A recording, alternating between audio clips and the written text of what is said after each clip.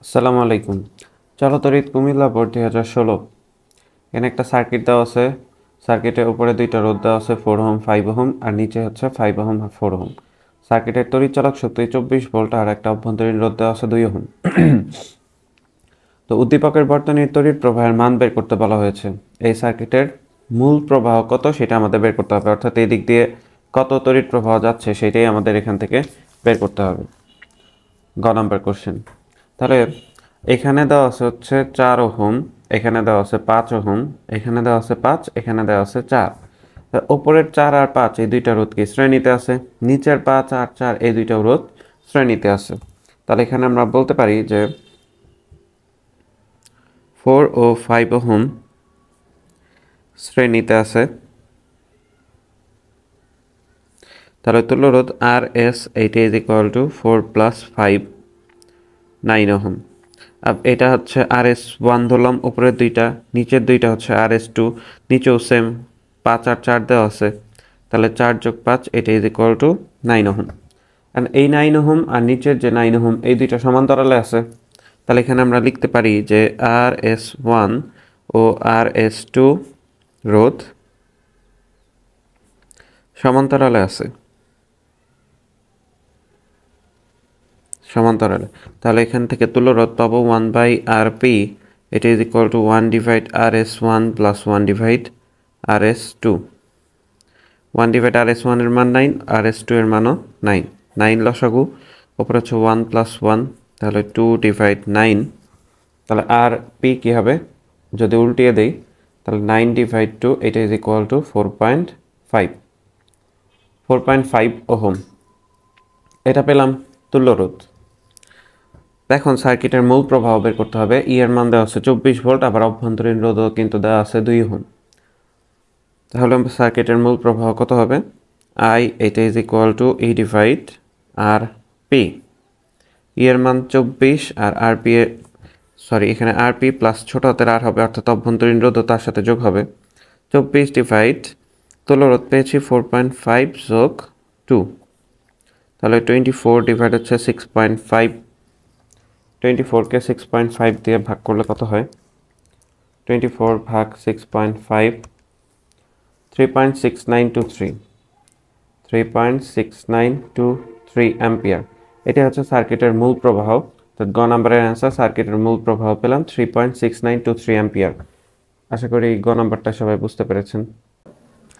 এবার ঘ নাম্বার বলা হয়েছে, উদ্দীপকের বর্তনীর পি ও কিউ বিন্দুর মাঝখানে একটি গ্যালভানোমিটার নগণ্য রোধের তার দ্বারা সংযুক্ত করলে কোন দিক হতে গ্যালভানোমিটারের ভেতর দিয়ে তড়িৎ প্রবাহিত হবে? অর্থাৎ এই যে পি বিন্দু আর কিউ বিন্দু, এই পয়েন্টের থেকে যদি এই পয়েন্টে আমরা একটা গ্যালভানোমিটার যুক্ত করি, অর্থাৎ একটা তার দ্বারা এখানে একটা গ্যালভানোমিটার যুক্ত করি, তাহলে সেই গ্যালভানোমিটারের ভেতর দিয়ে কোন দিক থেকে কোন দিকে তড়িৎ প্রবাহ যাবে সেটাই আমাদের এখান থেকে বের করতে হবে। তো ওপরে হচ্ছে, এখানে হচ্ছে চার ওহম মানে রোদ এখানে পাঁচ ওহম এইখানে পাঁচ ওহম, এখানে হচ্ছে চার ওহম মানে দুইটা রোদ দেওয়া আছে। তার উপরে হচ্ছে তুল্য রোদ তো আমরা জানি নয় ওহম নিচের তুল্য রোধের মান হচ্ছে নয় ওহম এখন এখানে এখানে তো পি একটা বিন্দু আর এখানে কিউ একটা বিন্দু। এখানে একটা পয়েন্ট আমরা ধরে নেই এ বিন্দু, এখানে একটা বিন্দু ধরে নেই বে বিন্দু। তো আমাদের পি থেকে কিউ পর্যন্ত একটা পরিবাহী তার টানতে হবে, সেখানে একটা গ্যালভানোমিটার থাকবে। তো কোন প্রান্ত থেকে কোন প্রান্ত তড়িৎ প্রবাহ যাবে সেটাই আমাদের বের করতে হবে। তো এটা বের করার শর্ত কি? যদি পি বিন্দুর বিভব বেশি হয় কিউ বিন্দু অপেক্ষা, তাহলে পি থেকে কিউ এর দিকে তড়িৎ প্রবাহ যাবে। আর যদি কিউ বিন্দুর বিভব পি বিন্দু অপেক্ষা বেশি হয়, তাহলে কিউ থেকে পি এর দিকে তড়িৎ প্রবাহ যাবে। অর্থাৎ ঘটনাটা হচ্ছে এরকম। যদি VP is greater than V Q হয়, তবে পি থেকে তড়িৎ প্রবাহ কিউ এর দিকে যাবে। আর যদি V Q is greater than VP হয়, তবে কিউ থেকে পি এর দিকে তড়িৎ প্রবাহ যাবে। আমরা জানি তড়িৎ প্রবাহ দিক কোন দিকে? তড়িৎ প্রবাহের দিক হচ্ছে উচ্চ বিভব থেকে নিম্ন বিভবের দিকে। তাহলে আমাদের বের করতে হবে যে পি ভিপি অর্থাৎ পি বিন্দুর বিভব বেশি নাকি কিউ বিন্দুর বিভব বেশি, এটা আমাদের বের করতে হবে। তাহলে সবার প্রথমে আমরা কি করব? যে আমরা তো সার্কিটের মূল প্রবাহ জানি three point six nine two three ampere ওপর দিয়ে যে তুল্যরোধ পাওয়া যায় সেটা হচ্ছে নাইন হোম নিচ দিয়ে যে তুল্যরোধ পাওয়া যায় সেটাও নাইন হোম অর্থাৎ আর, এ পিবি এটার মানও আমরা জানি নাইন হোম আর, এ কিউবি এটার মানও আমরা জানি নাইন ওহম। তাহলে উপর দিকে কত তড়িৎ প্রবাহ যাচ্ছে, নিচ দিকে কত তড়িৎ প্রবাহ যাচ্ছে, এটা আমাদের বের করতে হবে। তাহলে এই এই বরাবর যে তড়িৎ প্রবাহ যাচ্ছে, সেটাকে ধরে নিলাম হচ্ছে আই ওয়ান, আর এই বরাবর যে তড়িৎ প্রবাহ যাচ্ছে, সেটাকে ধরে নিলাম আই টু।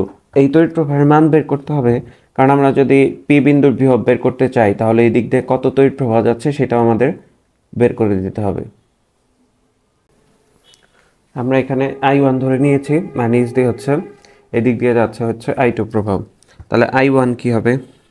আই ওয়ান হচ্ছে, এই দিক দিয়ে যে তড়িৎ প্রবাহ যাচ্ছে, তার বিপরীত যে রোধ সেইটা অর্থাৎ এই দিক দিয়ে তড়িৎ প্রবাহ কত যাচ্ছে? সরি এই দিক দিয়ে যে তুল্য রোধ সেটা কত? পাঁচ আর চার যোগ করলে হচ্ছে নয়। তাহলে ওপরে হচ্ছে আর এ কিউবি এর রোধ, নিচে আর এ পিবি এর রোধ প্লাস হচ্ছে আর এ কিউবির রোধের যোগফল। ইন্টু হচ্ছে বর্তনীর মূল প্রভাব এটা হচ্ছে আই ওয়ান বের করার সূত্র।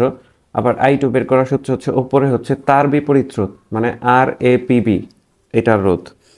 তো এখানে যদি আমরা মান বসাই, উপরে আর এ কিউবি এর মান হচ্ছে নাইন নিচে nine plus nine into I বর্তনীর মূল প্রবাহ হচ্ছে three point six nine two three ampere এটাকে যদি ক্যালকুলেশন করি, তাহলে ওপরে হচ্ছে নাইন নিচে হচ্ছে এইটিন তাহলে ওয়ান বাই টু অর্থাৎ এইটাকে যদি দুই দিয়ে ভাগ করি three point six nine two three ভাগ দুই one point eight four six one five one point eight four six one five ampere এটা হচ্ছে আই ওয়ানের মান পেলাম। আই টু এর মান কত হবে? আই টু এর মান সেমই হবে। কারণ হচ্ছে এখানে উপরেও নয় হন, নিচেও নিচেও নয় হন। তড়িৎ প্রবাহ দুইটা ভাগে ভাগ হয়ে আই ওয়ানের ভেতর দিয়ে যা যাবে আই টু এর ভেতর দিয়ে তাই যাবে। তো one point eight four six one five ampere এটা হচ্ছে আই টু এর মান পেলাম আমরা। এখন আমরা কি করব? যে ভি এ বিন্দুতে যখন তড়িৎ প্রবাহ সে দুইটা ভাগে ভাগ হয় আই ওয়ান দিয়ে যেটা যাচ্ছে এই যে চার হোম রোধ এখানে কতটুকু বিভব লস হয়? অর্থাৎ এ আর বি বিন্দু এ আর পি বিন্দু, এই দুই বিন্দু বিভব পার্থক্য বের করতে হবে। ভি এ পি এটি ইজ ইকুয়াল টু কী হবে? আই ওয়ান ইন্টু এখানে আর এটা হচ্ছে ধরে নিলাম ফোর হোমটা হচ্ছে আর ওয়ান আর ওয়ান হচ্ছে ফোর হোম আর টু হচ্ছে এই ফাইভ ওহম আর থ্রি হচ্ছে এই ফাইভ ওহম, আর আর ফাইভ হচ্ছে four ohm sorry R four হচ্ছে ফোর ওহম, এই ফোর ওহম। তাহলে ভিএপি অর্থাৎ এই অংশটুকুর বৃহৎ পার্থক্য কত? এ বিন্দু আর পি বিন্দুর বৃহৎ পার্থক্য কত? সেটা আমরা বের করতেছি। তড়িৎ প্রবাহের মান হচ্ছে three point six nine two three আর আর ওয়ান এখানে রোদ পড়ছে চার ওহম। তো এটাকে যদি আমরা ক্যালকুলেশন করি, তাহলে সরি আই ওয়ানের মান হচ্ছে one point eight four six one five এটার সাথে গুণন হবে চার। Seven point three eight four six seven point three eight four six volt. এটা হচ্ছে ভি এপি এর মান পেলাম। আর ভি এ কিউ এর মান কত পাবো? এ কিউ মানে এই অংশটুকুতে কত বিভব লস হয়েছে। অর্থাৎ এই এ বিন্দু আর কিউ বিন্দুর বিভব পার্থক্য কত? এখানে যে পরিমাণ বিভব লস হয়েছে সেটাই হচ্ছে এ আর কিউ বিন্দুর বিভব পার্থক্য। তাহলে ভি এ কিউ এটা is equal to I two into R two I two এর মান one point eight four six one five আর আর টু এর মান হচ্ছে ফাইভ ওহম। এটাকে যদি আমরা ক্যালকুলেশন করি point eight four six one five গুণন five nine point two three two three volt nine point two three volt. তো ভিএপি পেলাম। ভিএপি পেলাম হচ্ছে seven point three eight four six volt আর ভিএ কিউর মান পেলাম nine point two three volt. এখন আমরা কি করব? এখানেই করি। যে ভিএপি এটা ইজ ইকল টু আমরা কি লিখতে পারি? ভিএপি ইজ ইকল টু লিখতে পারি। এখানে আমরা বলতে পারি যে এ বিন্দুর বিভব সব থেকে বেশি পি বিন্দুর বিভব তার থেকে কিছুটা কম বি বিন্দুর বিভব তার থেকেও কম।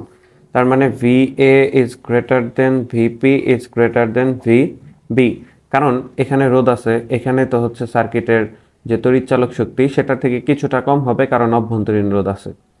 তারপর যখন এই দিক দিয়ে যাচ্ছে, এখানে রোদ আছে, এখানে বিভব লস হবে। তাহলে পি বিন্দুর বিভব কিছুটা কম পাবো। তারপর আবার পাঁচ হোম এখানেও বিভব লস হচ্ছে। বিভব কমে যাচ্ছে বি বিন্দুতে গিয়ে বিভবের মানকে অনেক কম পাবো। তাহলে আমরা লিখতে পারি V is greater than VP is greater than VB আবার V A is greater than V Q is greater than V B এটা হচ্ছে সেম ঘটনা। এখানে লস হচ্ছে, এখানে লস হচ্ছে, তাহলে বি বিন্দুর বিভব কি? কম পাবো। এখন ভি এপি এইটাকে আমরা কি লিখতে পারি? ভি এ মাইনাস ভিপি তাহলে ভি এ মাইনাস ভিপি এটার মান কত পেলাম আমরা? Seven point three eight four six volt আবার একইভাবে ভি এ কিউকে কী লেখা যায়? ভি এ কিউকে লেখা যায় nine point two three volt এটা মানে হচ্ছে V A minus V Q এটা is equal to nine point two three volt কারণ ভি এ কিউ মানে হচ্ছে V A minus V Q A বিন্দুর বিভব মাইনাস কিউ বিন্দুর বিভব। এ বিন্দুতে যে বিভব পাচ্ছি, তার থেকে যদি কিউ বিন্দুর বিভব বাদ দিয়ে দেই, তাহলে এখানে কতটুকু লস হয়েছে সেইটা পাওয়া যাচ্ছে। এখন, একটা পেয়েছি VA minus VP three eight four six আর একটা পেয়েছি ভিএ মাইনাস ভিকিউ এটা হচ্ছে nine point two three volt এখন কী করব যে উভয় পক্ষকে বিয়োগ করি? তাহলে এখানে এটা প্লাস এটা মাইনাস কাটাকাটি। আর এখানে ভি এ এটা হচ্ছে মাইনাসের প্লাস ভি কিউ এ পাশে হচ্ছে seven point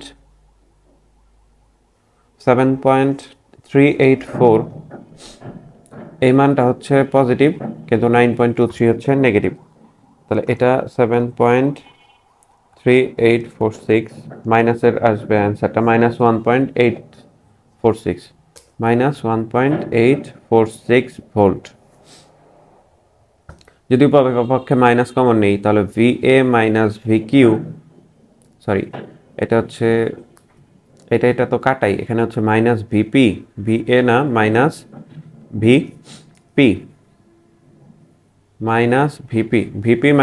কিউ এটা is equal to one point eight four six volt minus ছিল, এখন মাইনাস কমন নেওয়ার কারণে ভিপি মাইনাস ভি কিউ এটা ইজ ইকুয়াল টু এটা পেলাম।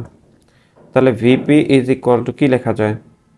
One point eight four six plus হচ্ছে ভি কিউ অর্থাৎ ভি কিউ যে বিভব, তার সাথে যদি আমি one point eight four six যোগ করি, তাহলে পি বিন্দুর বিভব পাওয়া যাচ্ছে। তাহলে এখান থেকে আমরা বলতে পারি না যে ভিপি ইজ গ্রেটার দেন হচ্ছে ভি কিউ পি বিন্দুর বিভব কিউ বিন্দুর বিভব অপেক্ষা বেশি। পি বিন্দুর বিভব কিউ বিন্দুর বিভব অপেক্ষা বেশি। তাহলে আমরা বলতে পারি, যেহেতু পি বিন্দুর বিভব বেশি, তাহলে এখানে যদি একটা পরিবাহী তার আমরা যুক্ত করি, তাহলে আধান বা ধনাত্মক চার্জ বা তড়িৎ প্রবাহ তড়িৎ প্রবাহ পি বিন্দু থেকে কিউ বিন্দুর দিকে যাবে। হ্যাঁ পি বিন্দু থেকে কিউ বিন্দুর দিকে তড়িৎ প্রবাহ যাবে। তাহলে কোশ্চেনটা ছিল পিও কিউ বিন্দুর মাঝখানে একটি গ্যালভানোমিটার নগণ্য রোধের তার দ্বারা যুক্ত করলে কোন দিক হতে গ্যালভানোমিটার ভেতর দিয়ে তড়িৎ প্রবাহিত হবে? তো আমরা পেয়েছি পি বিন্দুর বিভব বেশি কিউ বিন্দু অপেক্ষা, তাহলে পি বিন্দু থেকে কিউ বিন্দুর দিকে তড়িৎ প্রবাহিত হবে। তো আশা করি ম্যাপটা সবাই বুঝতে পেরেছেন। ভালো লাগলে অবশ্যই লাইক, শেয়ার, সাবস্ক্রাইব করবেন, আর সমস্যা থাকলে অবশ্যই কমেন্ট করে জানাবেন। আল্লাহ হাফিজ।